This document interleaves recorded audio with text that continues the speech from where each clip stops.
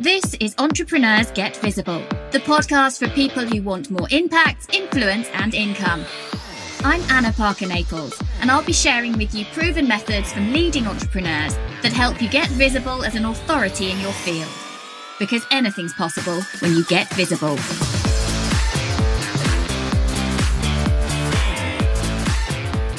In today's episode of Entrepreneurs Get Visible, we're talking all about how you can get started using affiliate marketing and why this makes sense for your business. Particularly if you're in that space where you don't even know quite what business you want to build.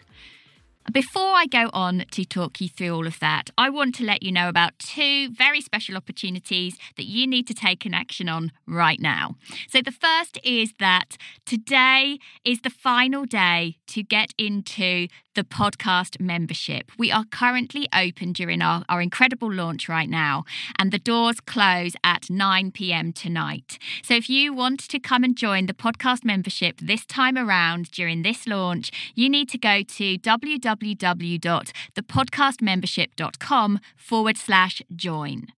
The other thing I want to let you know about is the fact that we have our 100th episode coming up very, very soon. And I would love you to get a chance to be featured on this show. What would it mean to you to reach an audience internationally? What would it mean to you to be on a top ranking podcast? I think it would mean a lot if you were able to get your message out there.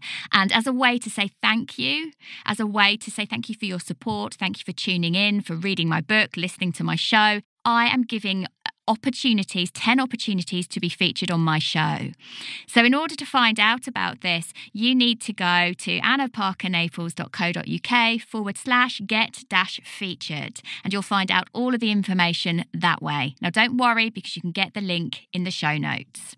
So, right now, I want to introduce you to a fabulous lady. I first met my guest today at an event about a year ago, and her level of detail and her warm, friendly personality really shone out to me. Recently, she published her book, Little Miss Affiliate, and we'll be talking in detail about why she wrote that and what you need to know to get started in affiliate marketing. So, I would love to introduce you to Lucy Crane. Today, I am so pleased to bring on Lucy Crane. And I first met Lucy about a year ago now at a live event where she was speaking. And it's been amazing to see how her business has shaped and grown. But one of the things we're getting into today is talking about affiliations and affiliate marketing. And Lucy recently launched a book all about affiliate marketing. So maybe just tell us a little bit about your book to start with, Lucy, and then we yeah. can delve into the subject today. Absolutely. Um, so my book's called Little Miss Affiliate, and what I really wanted to do was to introduce affiliate marketing for women who have got businesses, but equally women who potentially are looking to start something for themselves, but they they might not know what they're potentially doing. And I think that's quite an easy space for a lot of women to fall into. You know, having that desire that they want more and they want to create something for themselves, but just feeling a little bit lost in terms of what that what that's going to look like for them because the powerful thing that I know that I've come to know with affiliate marketing is it just allows you to align yourself with, you know, brands, products, services that you're really passionate about.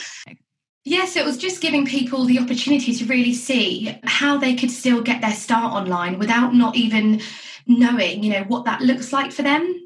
Because everyone's using products services and invested in you know courses or things that they're really passionate about. And there's no reason why they can't take those passions and actually make it into a profitable business whilst they're finding their feet and finding what they're really passionate about and where they want to go. And I think that's useful for anyone writing a blog or doing a podcast or or just putting their toe in the water and don't really know exactly the direction their business is going to go in as you say, using those referrals, those recommendations in your content, and then driving people to an affiliation link is a way to start monetizing a business before you potentially know exactly which direction your business is going in. Absolutely. I mean, there is two strings to that. You know, affiliate marketing for the woman who's already got an established business is, is different, which I can come on to talk about um, in a little while. But for me, when I found affiliate marketing, it was because I was that entrepreneur that didn't really know my direction, but I wasn't feeling fulfilled with, with the direction I was going in. So I knew I wanted to take the time to find my passions, and affiliate marketing filled that gap for me because it allowed me to just get master the front end of business, which is the marketing side, focus and talk about things that I'm passionate about that I know can add great value to people's lives, make some money, and then give me the time to really think about how I want to then give back and make my own impact in the world. Mm. And that's something that even in the year since we've met, being able to change direction, but knowing that you're monetizing other content that's out there is really powerful. It gives you that space to change and grow. Absolutely, and I would say, you know, definitely from a um, a learning perspective, having multiple income streams is is a, a, great thing to have. And I think, you know, especially at the the early days of my business, I didn't have that stability, so business was really stressful. So, um, you know, even if you're a, a business owner, you've got your own business, you've got your own products. If you can leverage affiliate marketing, it can just um, become one of those extra income streams coming through. That you know, for a lot of people, just takes that pressure off and allows you to grow, grow your business while still generating those different income streams. And affiliate marketing is something that I use all the time. Every time you guys listen to my podcast, I will tell you about something that there is a link in my show notes and on my blog all about it. So, this could be courses that I've done, programs that I use, books that I've read. So, very simple yeah. way to get started is through Audible or Amazon. And Absolutely. If you're naturally talking about those products, those pieces of content, why not get a little bit of a kickback? And that's it. And i think people the actual opportunity with affiliate marketing it's there for everyone. I just think people aren't aware of it or they're not aware how they can bridge the gap from what product or service they currently have and leverage you know the power of affiliate marketing within that. Do you think then that the best way to do affiliate marketing is to use these bigger companies where it's quite hands off and lots of people could be doing could be promoting those? Or do you think it's better to partner with others who have a product that could be of use to your audience um, with so a much closer collaboration if you see yeah I, think there's definitely advantages to, to both. And i think especially if i come to you know looking at collaborating specifically you know if you think from a business owner perspective people are paying you know a lot in a lot of the cases they're paying for um, email lists to grow their email lists in terms of their marketing and things like that. And if you've got somebody that you work you potentially serve you know similar clients but you've got very very different mm. offerings you could absolutely leverage each other's email lists and do that kind of collaboration work for sure because at the end of the day it's going to give amazing value to the audience anyway and it's a win-win because if you become the affiliate for somebody's program that you know your email list are going to value, yes, you're getting them in front of your entire email list, but you're also giving them great value and making commissions in the process. So, you know, as business women, there is a lot to learn. There's a lot of different niches and experts in their field. So, I think absolutely there's an opportunity to leverage each other's businesses as long as it's obviously not crossing over with what you offer your own clients um, at the end of the day it's giving great value and it's it's enabling you to all kind of make commissions make money from it. In many ways i feel as someone who is stepping out in my field that it's my responsibility to tell people about the products and services not necessarily to make a sale. Of course that helps but from a genuine perspective of having found this product or this service or this expert it has changed my business and why wouldn't i want to share that and actually i find that it's not challenging to make those sales and it's definitely something that has has shaped my podcast it's shaped what how I deliver what I deliver. And it's actually, uh, funnily enough, as of tomorrow, there's a new training inside the podcast membership about affiliations because it's so powerful. And once yeah. you understand, once that penny drops in your head about the fact that I don't just have to sell my own stuff, I can sell everybody else's, and it's, yeah. it's still worth worthwhile for me. It's really powerful. Yeah, and I mean, if you think about Amazon, for example, Uber, Airbnb, the main thing they have in common is these biggest, you know, multi-million pound companies. They're all leveraging the power of affiliate marketing. You know, Amazon, the largest um, online bookstore, doesn't write its own books. Airbnb, um, the largest hotel company, doesn't own its own hotels. So people are using this all of the time. I just don't think people are aware of it and aware of the opportunity. And looking at you as a as a podcast expert, there are so many women that specialize in different areas of business, but they know their ideal clients would really benefit from, you know, starting their own podcast. So, like you say, it's, it's giving value. It's it's giving the audience what they need to then get where they want to get to. What have been some of your favourite affiliations that you've done? So, there's three types of um, affiliate products you can really focus on. So if I just kind of touch upon those, you'll get an idea. So you've got the one time commissions. So this is really where, um, for example, you might um, associate yourself with a particular physical product, and that product might be worth $50 every time you send a new customer to that product. You've then got the subscription commissions. These are my favorite commissions. So these are things like um, online softwares that every business might need. So, for example, I'm an affiliate for a, an autoresponder called Aweber, which, if you're a business owner, you've probably come across these autoresponders. So, it's a great product to be an affiliate for because every business needs it because they're going to be growing their email list. Um, but it means once you've got that customer once, you will get paid commissions month in, month out for the lifetime of that customer. So I think that's really powerful because even though if we're realistically, if you've got to be, you know, if, if it takes you 12, 12 months to generate your first 100 customers, once you've got them and they're still paying because they need that kind of software for their business, you could be earning thousands in commissions for the work you did a year ago, two years ago. So that's the second type, and that for me personally is my favorite type.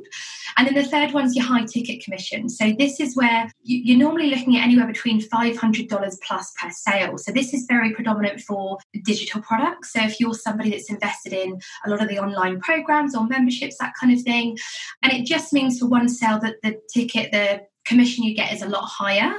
So the way I set myself up with a high ticket is I'm part of an educational platform. So they are a high ticket company, but all of the members that go through I know get amazing value because I've been through the process myself. And that's how I generate the high ticket commissions. So for me, that looks about $1,000 a month for a sale in that particular company. And in order to get that sale for a high ticket product, how much do you have to invest your time and effort and energy? Yeah, and this is where I'll be really transparent because I think there is a misconception with affiliate marketing that it's just about getting a link and putting it out there and hoping for the best. Which it can um, be for the lower end stuff. For the lower end stuff, for the lower end stuff. But if you want to look at this and really leverage it as something that pays you a considerable income a month, even if that is, you know, part time around what you're doing, it's just about mastering the marketing elements and how you can kind of bring that into your business. So for me, it's a really easy transition because this particular company educate people on starting an online business. So it's very much in alignment with who I serve already, and they offer skills that I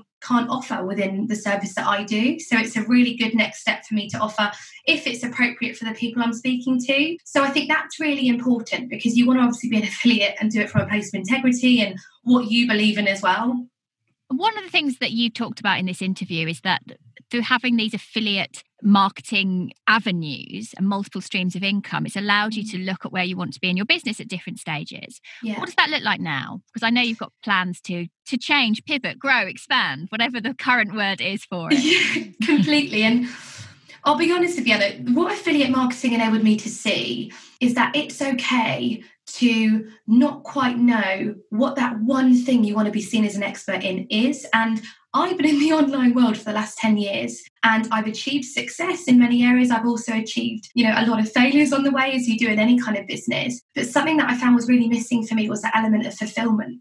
And it's because I, I guess from my business perspective, I was trying to create a business that I think people needed or wanted. What the affiliate marketing enabled me to do was realize actually it's okay to really focusing on what you're passionate about. That's really where the inspired action comes. And so for me, affiliate marketing has enabled me to take a step away from what my old business used to be. Um, still earn a great income every single month. And now I'm in the process of actually developing a company which is really in alignment with my passions, my heart, my soul, and the impact I want to make. So it does show the power. And if you're somebody that has ever been like me, where you feel potentially you're not sure where you fit into this online world, that's okay too because you you know it's about doing things in alignment with with who you really are. So what i'm hearing from you is that in my my model of the world that it's given you some freedom yeah. because you are not having to step whilst you're stepping away from your main business you're not stepping away from all of your income. Absolutely. And and, and that's for me been so so powerful.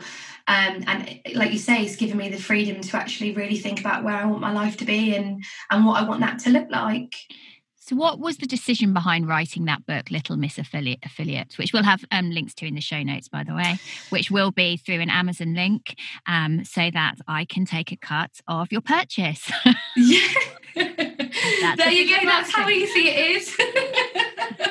I do. Really, I do. I get a lot of sales for Audible and Amazon through my podcast. So again, it's a it's a nice income stream for me. Yeah, absolutely. So you already know that you know the, the benefits from a personal perspective and how easy it is to just fit it into what you already do. Um, so the reason behind launching my book uh, really it was a personal perspective i felt like once i had learned the power of affiliate marketing and I, i'd gone through the trainings i'd really invested in actually getting some results for myself i felt like i couldn't not tell people because i remember what it felt like as a business owner thinking how long can i keep this going for because i felt so unfulfilled i wasn't earning the income i wanted to earn and I became kind of almost desperate in the online space. So, affiliate marketing for me came as a lifeline. It enabled me to feel like I could, like you say, breathe again and just give myself that headspace and capacity. And the other great thing about it is the skills you need to learn are all around marketing. Uh, which is really relevant to any business that someone might want to do anyway. So you're not wasting your time learning about those elements as you're building and, and growing with affiliate marketing. So um, that that really was the, the mission for me. I wanted to get it out so that other people who felt that way could feel like they could achieve the same for themselves. And in the front of my book, I took all about my story. So it enables people to, I guess, identify with the reality and, and truth of my world. What are the main avenues then that you would be sharing affiliate links? So, in terms of the marketing perspective, so I would mm. say your, your, email list is is your gold mine. That really is because you own that, mm. and from a perspective that allows you to nurture that list. So, for example, if you're somebody that's really passionate about fashion and you are going out there learning the skills of bringing people to your email list, giving them value about fashion, and then promoting products, services around the fashion, um, it's far easier to make those sales through the email list than it would be just posting a link. And I've got to be honest, I don't, I don't do that. Every time I talk about an affiliated link, it's through having a one to one conversation or it's through my email list specifically. So it's much more targeted than just randomly putting it all over your social media. Yeah, and I'll be honest, you, you don't want to do that because um, people don't like being sold to anyway. And, and I think as well, it's it's about being coming from a place of being genuine. Mm. That this is something that that absolutely this person you're speaking to would would kind of value and benefit from. Mm. Amazing. So, Lucy, as someone who, in 10 years of being in the online space as an entrepreneur, you've pivoted, you changed, you shifted. What yeah. would be your advice then to somebody who's struggling to know what they are, what they're doing, and how they then can put themselves out there?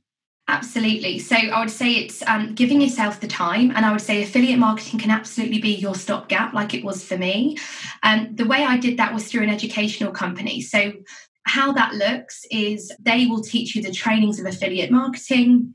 You can then become an affiliate for them, but that's where my high ticket commissions came from. So, you know, a couple of sales of those a month is actually a really nice income and um, whilst you're building other things. So I would say definitely give yourself time to really be true to you because I definitely have not been true to me. And I think it's because I've tried to be what everyone else is because I didn't have confidence that I had enough value just by being me. And kind of the self confidence, self worth has been a massive battle for me. But I had to take the time to just almost go on a bit of a, a, a personal mastery you know journey to really identify what's stopping me knowing my values knowing what's important to me and then from there coming from a place of inspired action and impact rather than this desperate attempt to try and do something because i want to make money and i you know i want to be successful in the online space and it just feels so much lighter and brighter to be in that space than doing it the other way around. But I, you know, I, I know I can't be the only one who's probably felt like that in business. Sure, you're not.